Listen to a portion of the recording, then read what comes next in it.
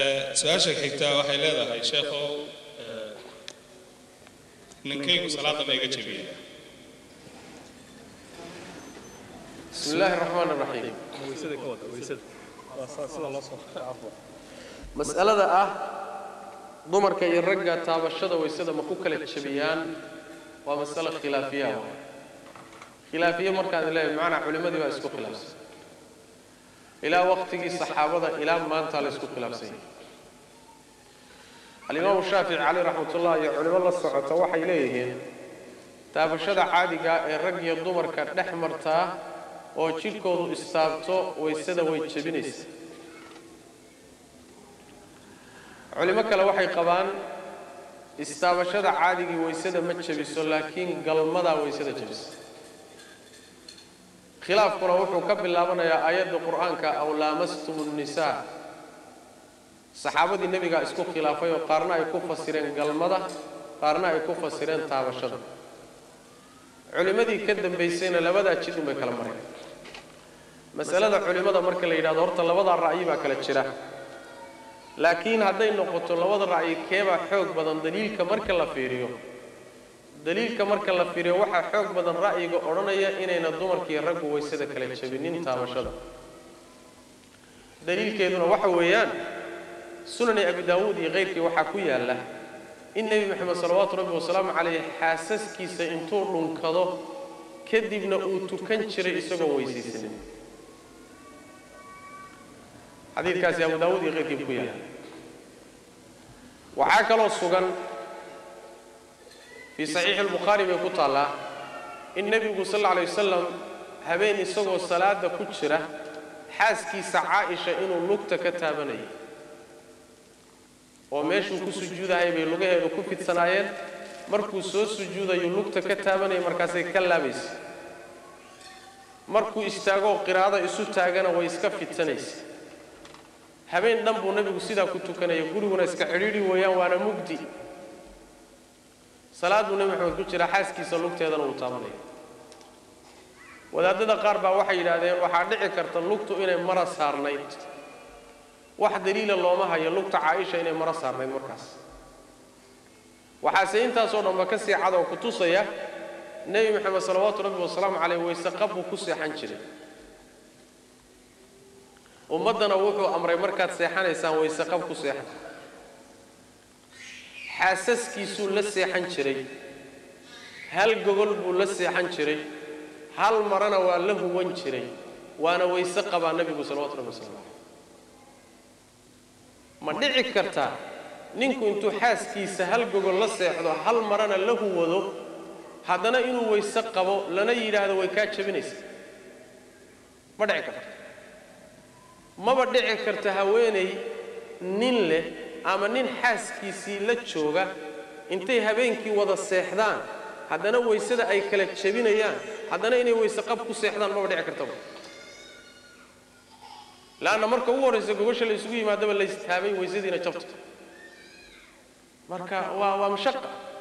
Nebi maxamed salawaatu rabbi wasalaamu caleyh marka isagoo xaasaskiisa la seexanaya buu haddana wayse qab ku seexan jiray salawatu rabbi wasalaamu caleyh taasi marka waxay kutusaysaa in أين الدمر كيرجو تاب شذا الشركة أين ويسد الشبنين لكن واحد ويسد الشبيه قل مضى بس هذا دمر كأدلة دمر كلا في روح يروح بدن تاعي تاب شذا إني سوي سد الشب معنى هذا ما هم ركيان لوفان أما وذا دوا حد شر هذا الكقلعية والله جي يبين يقلعية إن إلى هذان رجي الدمر كهاي ستة تاب تنبلي ما أساس ما nin iyo haweenay ajnebi kale ah inay istaabtaan oo jidhkoodu istaabto waa khalad waana soo sheegay kama hadlayno marka ma dembibaa dembi way tahay hadday isu qastaan taabasho ajnebina kale yihiin dembi inay tashay kuma jiro laakiin waxaan ka hadlaynaa waysadii ma jabtay way waxaan ka hadlaynaa waysadii ma jabtay oo ma kala jabiyaan mise waysadii ma jabin taa way midaan ka hadlayna macnaha masaladu marka dhankaasay u xoog badan tahay waase masale khilaafiya oo culimmadu waxa weeye su'aashaas markaan soo koobno madhabka shaaficiga ka mid ah culimo ka mid ah ayaa warkaas laga soo guuriyey saasayna innaga inagu soo gaartay. Laakiin sida saxiixa ah waxa weeye adiladu ay tilmaamayso qur'aanka iyo sunnadaba in ayan kaa jebin weysada axaadiis saxiixa ayaa ku sugan. Nabiga calayh salaatu salaam isagoo weyse qaba inuu xaaskiisa ama taabtay ama dhunkaday oo uu salaada haddana tukaday oo salaaddii u baxay. Marka taabashadaas keliya ama xataa dhunkashadaas wax kale aana la socon ma keenayso salaada inay jabto saasaa laga faa'iidaystay. Axaadiistaa saxiixa ah meesha laga qaatay oo qur-aanka falaa tamasuuhunna aw laamastum annisaaa masigaas ama taabashadaas qur-aankana sida culimmadu u badan tahay ay ku fasireen waxa weeye inay loola jeedo taabashadaas yani galmada loola jeedo galmo yaa ayuha aladiina aamanuu idaa طallaqtum الnisaaa min qabli an tamasuuhunna haddaad furtaan haweenkii idinkoon taaban. Famaa lakum calayhina min ciddatin tactaduunaha. Cidda kuma lihdin. Maxay tahay taabashadaas marka loola jeedo? Ma adigoo aan saa u taaban miya gabadhaas aada mehersatay? Taabasho keliya. Markaas ayaga ciddada maya taabashadu waxa weeye adigoon u galmoon macnaha ama dukuul uyan dhicin iyo aayadaha la mid ah oo faraha badan saasay tilmaamayaan. Marka insha allahu tacaala taabashadaasu insha allah waa galmada taabasho keliya kaagama jebinayso. Iyada keliyana ma aha haween kasta oo si qalad ah kuugu dhacda ama kuu taabata ama jirkiinu isgaaro idinkoon ula kicin kuma jabayso weysadu insha allahu tacaala. Wallahu tacala aclam. Masaladu waxay ka farcamaysaa ninkaaga keliya waxaa odhane nin ajnabihii weysada ma iga jebiyaa taabashada uu itaabanayo waa masalo khilaafiya oo culimmadu ay isku khilaafeen. Lamsiga ma waxaa lagu xambaarayaa qur'aanka lagu tilmaamay taabasho gacanta. Mise waxaa lagu xambaarayaa taabashada in looga jeedo galmo iyo jimaac fahamkii saxaabada ridwaanullaahi calayhim iyo fahamkii a'immadu way ku kala tageen. Markay iskhilaafeen waxaa loo noqonayaa aayadda oo fasiraya axaadiista nebiga salawaatu ullaahi wasalaamu calayhi. Dhaqankii nebi maxamed marka la eego caaisha waxay leedahay nebi maxamed wuxuu dhunkaday haweenkiisa mid ka muduu dhunkaday mana weysaysan. Haddee taabasho iyo dhunkashadkeebaa xeel dheer. Dhunkashada xeel dheer. Caaisha waxay leedahay nebiga oo ku tukanaya masaajidka ku tukanaya habeen habeenada ka mid a. Ayay waxay u malaysay inuu guryihiisii kala aaday. Kadibna nebigoo tukanayay cirbihiisii taabatay mar kale saxiixaynka sida ku sugan nebiga hortiisay ku tukanaysay rasuulku markuu is yidhahdo sujuud lugahii lugaheeda waxay yaaleen nebiga salawaatu ullahi wasalaamu caleyh meeshuu ku sujuudi lahaa. Marka wuu qandhuufanayay nebigu. Markaasaan lugaha ka laabayay bay tiri xadiista iyo adiladaa marka la eego taabashada yacni labadii qof jidhkooda uu istaabto weysadii ma jebinayo. Cala alqowli raajix. Saa darteed ninkaagu weysada kaama jebiyo. Cabdullahi bnu cabbaas wakhtigiisii baa taabiciintu isku khilaafeen. Nimankii carabta ahaa waxay yidhaahdeen lamsiga qur'aanka ku soo arooray waxa weeye waa galmo ayaa looga jeedaa mawaalidii iyo dadkii aan carabta ahaynee la xoreeyeyna waxay yidhaahdeen taabashaa looga jeeda. Saciid ibnu jubayr bay direen. Cabdullahi ibnu cabbaas su'aal buu weydiiye wuxuu yidhi intaanan kaaga jawaabin labada kooxeed labada kooxood ee iskhilaafay kooxdee ka mid ahayd. Wuxuu idhi mawaalidan ka mid ahaa iyo qolada le lamsigu taabashaa looga jeeda. Cabdullahi bn cabaas wuxuu yidhi huliba fariiqu lmawaali waa la jebiyey kooxdii mawaalida. Wallahu aclam marka ninkaagu weysada kaama jebiyo. Xaaskaygu weysada ma iga jabisaa ayuu leeyahay.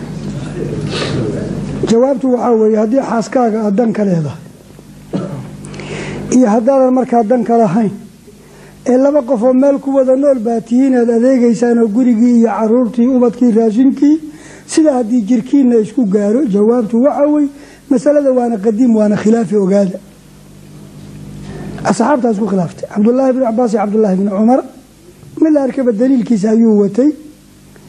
Kolka awlaa mastumulisaa markii aayatulwuduu fii suurati lmaa-ida markii laga hadlayey cabdulaahi bni cumar baa inay jebiso qaba.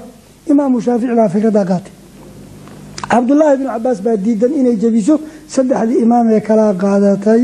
Marka waa masale khilaafi qadiim wabilahi towfiiq hore waxay ahayd ruuxa dumarihii ninkeeda miyay weyse jebinaysaa? Masaladu waa masale khilaafiya oo culimmadu ay isku khilaafsayiin oo saynu ogsoonnahay. Dee madhabta shaaficiyadu waxay qabaan inay ruuxa dumari ninka weyse jebiso.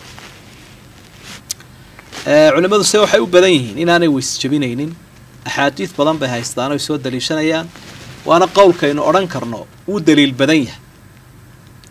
Oo dee ammaanadu waxa weeyaan ammaanatul adaa waa in aqwaasha la sheegaa laakiin haddana la kala tarjiixiyaa qowlka daliilka badani waa inaanay weyse jebinayn waxaa nabiga calayhi salaatu wasalaam ay caaisha ka warinaysaa ama ay caddaysay isagoo tukanaya rasuulku sala allahu calayhi wasalam inay taabatay cagihiisa isagoo sujuudsan oo markaa waxay inoo soo warinaysaa ducadii uu ku akhriyay sujuudda cagihiisaan ayaan taabtay bay leedahay waa goor habeennimo ah oo aqalku madow ahaa. Mar kale iyadoo salaada u sii baxayaabuu dhunkaday nabigu calayhi salaatu wasalaam mar saddexaad xadiid saddexaadna wuxuu sheegaya intuba waa axaadiid wada saxiixa iyada oo uu tukanayo ayaa cagiha cagaha ka hor fidisay iyadu. Markaa kolkuu sujuudayaabuu saa ii xafuujinaya cagaha si aan uga laabto oo halkaa ugu sujuudo maadaama dhulkuba aanu waasic ahayn. Marka nusuustaas sariixa ah ee saxiixa ah ee ku cad waxay muujinayaan in aanay gabadhu ninkeeda weyse jebinayn ama ruuxa dumariba ninka aanay weyse jebinaynin alxamdu lilah masaladan masale khilaafiya fuqahada shaaficiyada iyo dadka lamidkaa ayaa waxay qabaan weysada inuu kaa jebinayo. Maadaama laba ruux oo inay isguursadaan aad isu bannaan tihiin tihiin saa darteedna aad isuba qabtaan. Laakiin intaan garanaya nusuusta sunnada nabiga haddii lagu noqdo sala allahu aleyh alih wasalam ee fasiraysa aayaddan ow laamastumu nisaa weysada ka jebin mayso. Nabiga iyo xaasaskiisana sala allahu aleyh alih wasalam dhacdooyin fara badan baa sugan. Qaar haddii xataa hadal la geliyo sixadooda qaar baan sixadooda iyo asixidooda hadal aan la gelin karin. Waxaan la gelin karin nabiga sala allahu aleh alih wasalam inay caaisho lugta hortiisa ku fidin jirtay oo isagoo tukanaya markuu sujuudayaba lugta intuu qabtay iska qaadi jiray. In isagoo tukanaya intay daydayday habeennimo xilli mugdi ah ay isagoo sujuudsan calaa qabow gacanta saartay. Salaadihiisiina kama bixin nabiga sala allahu aleh alih wasalam sidaa darteed taasaa raajix ah. Masaladu masalad khilaafiya ha noqoto bilahi towfiiq